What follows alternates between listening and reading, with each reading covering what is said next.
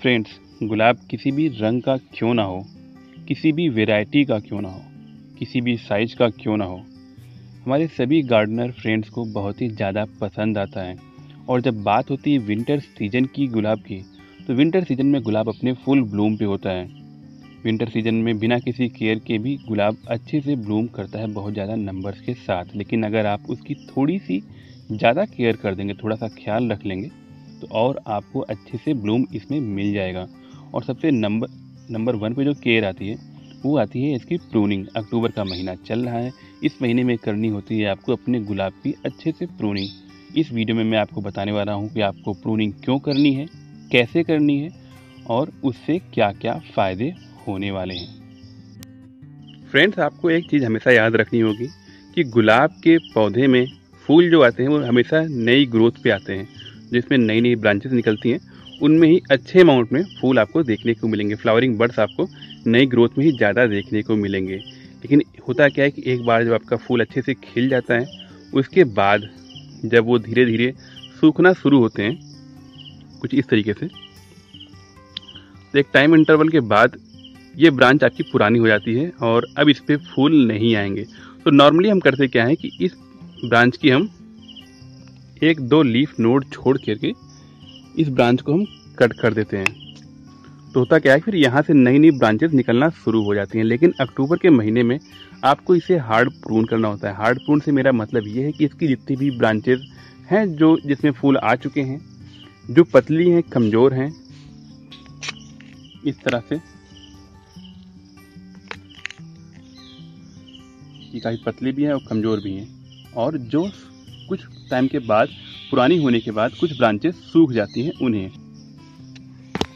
इस तरह की ब्रांचेस जो कि सूख चुकी हैं, इन्हें हमें कट करके हटा देना होता है।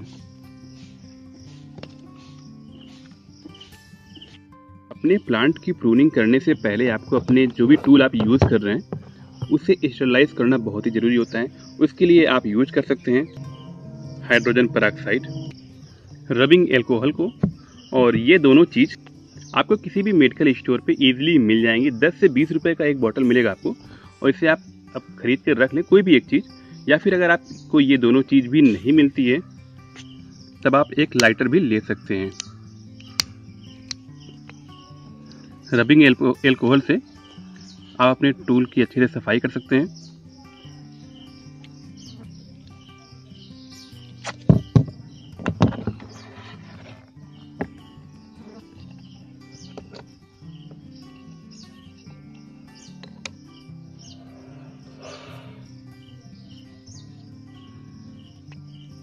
या फिर आप अपने लाइटर से अपने टूल को गर्म करके उसे स्टरलाइज कर सकते हैं।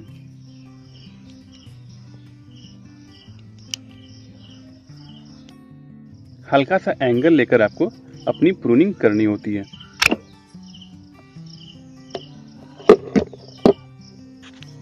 कभी भी प्रूनिंग प्रूनिंग आप बिल्कुल फ्लैट ना करें और हमेशा प्रूनिंग नोड एरिया से थोड़ा सा ऊपर करें।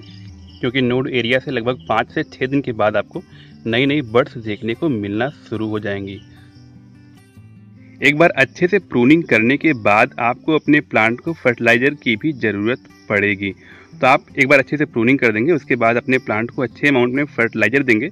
और फर्टिलाइज़र पे मेरा अलग से डिटेल वीडियो मेरे चैनल पे अवेलेबल है। अगर आपने नहीं देखा तो लिंक आ रही ऊपर कार्ड में। आप जा के उसे क्लिक करके देख सकते हैं। फर्टिलाइज़र देते समय मैंने उस वीडियो में भी मैं आपको बताया हुआ था, कभी भी बिल्कुल प्लांट से सट के आपको फर्टिलाइज़र नहीं देना है। फर्टिलाइज़र हमेशा आपको प्लांट से थोड़ी सी दूरी पे देना है। अगर आप पॉट में लगाते हैं तो पॉट में बिल्कुल कॉर्नर पे देना है और अगर आप प्लांट को लगाते हैं ग्राउंड में तो थोड़ी सी दूरी पे डिस्टेंस मेंटेन करके अपने प्लांट को आप अच्छे अमाउंट में फर्टिलाइज़र दे दें।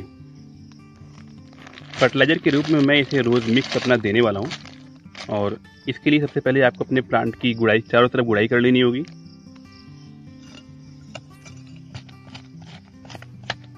इससे आपकी रूट्स भी प्रून हो जाएँगी, जो एक्स्ट्रा रूट्स हैं, वो भी अच्छे अमाउंट में प्रून हो जाएँगी। एक बार गुड़ाई करने के बाद अपने प्लांट के चारों तरफ़ एक हल्की सी रिंग बना लेंगे और इसी रिंग में अपना हम फर्टिलाइज़र देंगे। इसके बाद इसे कवर कर देंगे और कवर करने के बाद इसे अच्छे अमाउंट में हम पानी दे देंगे।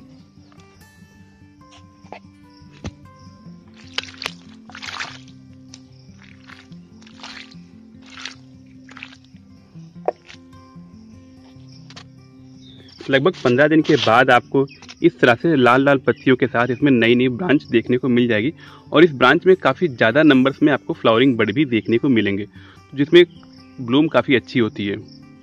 अच्छे से मर, मेरा मतलब ये है कि जो फ्लावर का साइज़ होगा हमारे नॉर्मल फ्लावर के साइज़ से थोड़ा सा बड़ा भी होगा। प्रूनिंग करने से एक फ़ायदा और होता है क्योंकि बरसात के महीने में आपके जो प्लांट होते हैं वो काफ़ी ज़्यादा मॉइस्चर ले चुके होते हैं हमें फंगस लग चुका होता है।